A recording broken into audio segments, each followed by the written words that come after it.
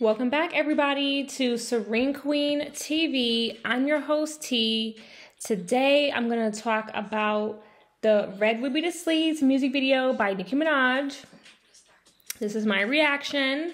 Please like, share, and subscribe, and let's talk in the comments because I know y'all are going to have things to say.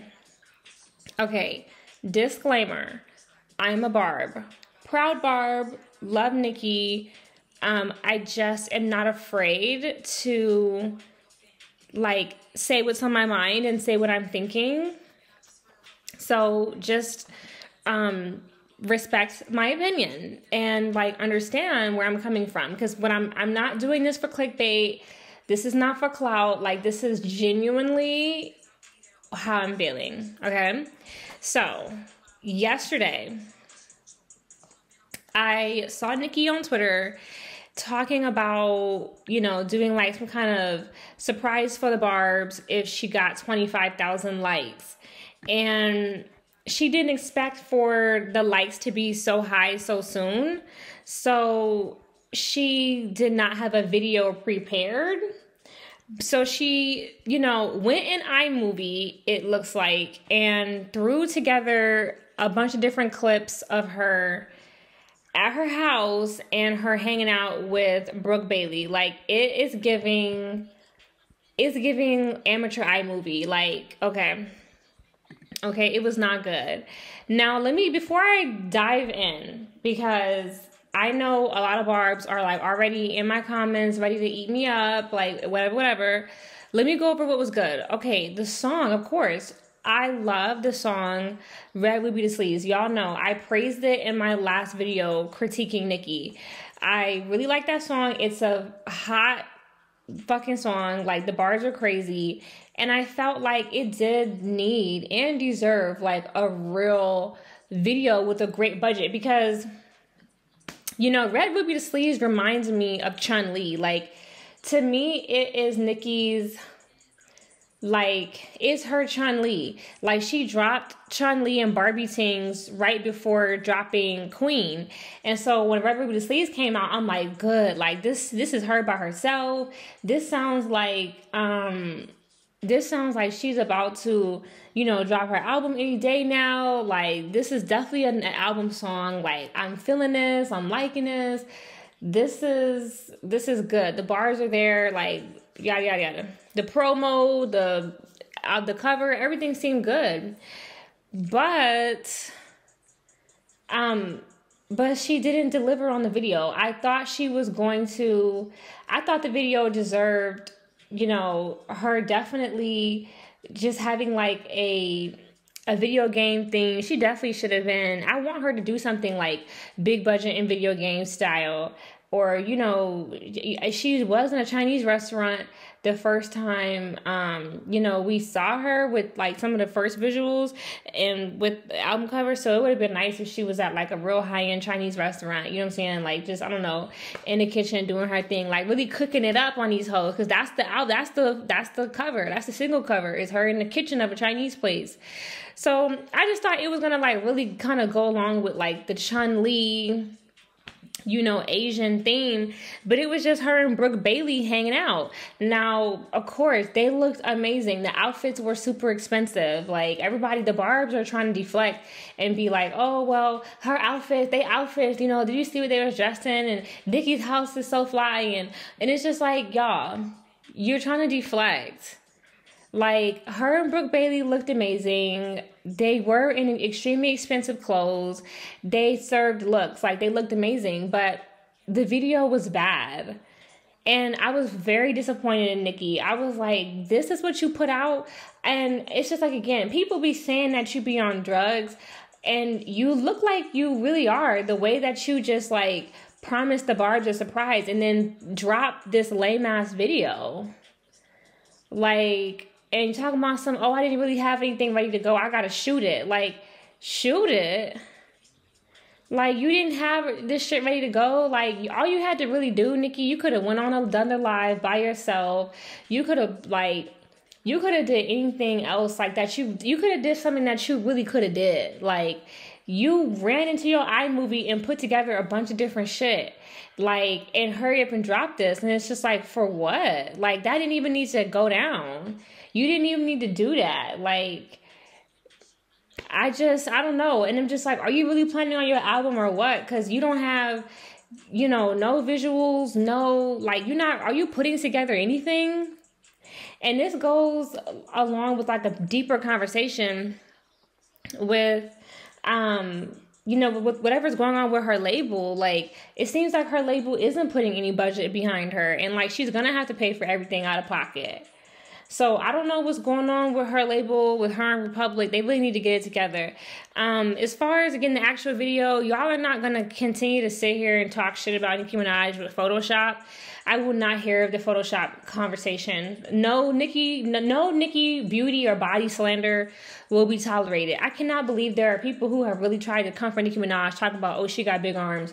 Like, how stupid and trivial and petty is that? At that point, you're just splitting hairs trying to find something on this person. Like Nicki Minaj is gorgeous, beautiful, great body, and the bitch can rap. So stop sitting up here like trying to find stuff. And she looked great in the video, and I'm not entertaining any conversation about Photoshop when y'all sit up here and allow and excuse Cardi B to have taken this woman's whole fucking face or trying to with her leather face ass. Like y'all really sitting up here letting Cardi B make it. So shut the fuck up.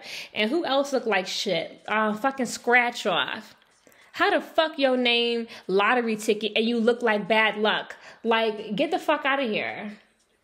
Bitch, it's giving, yeah, you always get the losing ticket. Like, no. I'm not fucking with these other girls. They don't look like Nicki. They damn sure don't look like Brooke Bailey.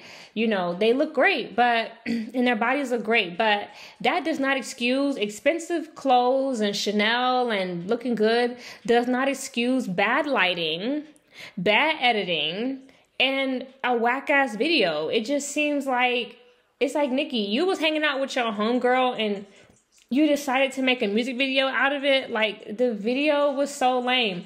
Brooke Bailey don't look like she was ready for no goddamn music video. Like she look it's like like when you go over your homegirl house and she surprised you, hey girl, I actually need to, you know, do a video right quick because I didn't fuck around and promised the barb something. You wanna record? Like I don't know. Like that was just some shit I was not ready for. I was like, you know, this has to stop. And this is what I've been saying. Like, when Nicki did that shit, when Nicki, when I saw, when I was on Instagram and I saw the the visuals for Red Ruby the Sleeze video, I was like, why the fuck is Nicki doing this shit? Why are you giving the other fan bases something to come at us with? Because they're gonna go in, they're gonna fucking go in and talk about, oh, yo, yo, fave don't got no budget. You know what I'm saying? And it looked like you don't, Nicki. What the fuck? Like, what the fuck did you just do? And I'm just like, God damn it. Like, you always want to roll around your goddamn backyard. All you had to do was like you got a big enough house like to just hire a full production team and have a production studio like where you have like a room or like a place where you record. Y'all can put in some green screens or some background. Y'all could get some props. Like you have enough space in your house. Like if you don't want to leave your house onika you don't have to Beyonce be having like motherfuckers come to her big ass house and do professional photo shoots. Like a lot of the time when Beyonce be, you know, t- doing these photo shoots, she be at the house, yeah. She just got somebody there. Like she, you know, to set up a professional photographer, good lighting. You know what I mean? Like Beyonce, even when Beyonce did 7-Eleven, which was in a fucking hotel room or what, some type of penthouse, like this shit was just orchestrated better. She had choreography, she had lighting. That video it was an iPhone video, but it it it had like studio motherfucking editing. Like that video is put together well. Nicki, this is some shit you put together on your MacBook. And this is just a mess. And when the other people start going at the barbs, like you've just given them the fucking energy to because what the hell have you done? Why can't you just get some professionals around you? Like that's starting to not look good. And I've been saying this, and y'all can say whatever the fuck y'all want. Why can't Nicki Minaj just get like some people around her, like some professional people around her to just like really make her be taken more serious because like right now it's not looking good. Like as she's gotten older shit has gone a little bit downhill. Because i'm like you know what? Why are you still toting this like rap aesthetic that you have? This super big butt this crazy colorful hair. Like what happened to your era where you were like a little bit more natural and cleaned up? Like bring that back because you are regressing why the fuck, um, why the fuck was you in your backyard? Every time we see you, you in your house. You in the backyard. You can't seem to leave your goddamn house.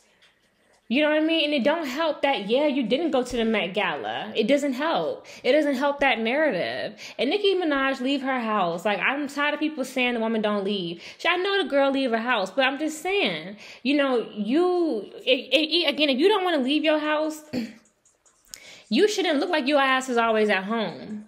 People should not be able to tell you at your fucking house. You need to hire some professional people who can really set up. Like you need, like a, you need to do what Beyonce did. You running around here with a goddamn label. You need a production studio to help you make movies, to help you be in charge of your own documentaries, to help you like really have more control over your career.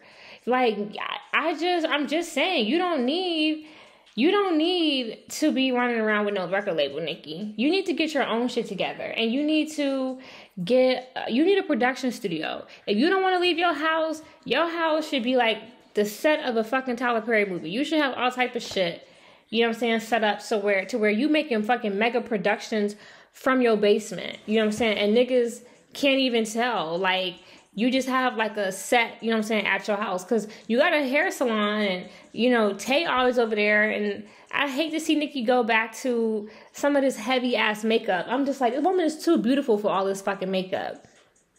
You know, I come on, bro. I'm just like, look. Red Ruby Da Sleeze just opened me up to what is like else is going on with Nicki career wise, like stuff that other people are not talking about.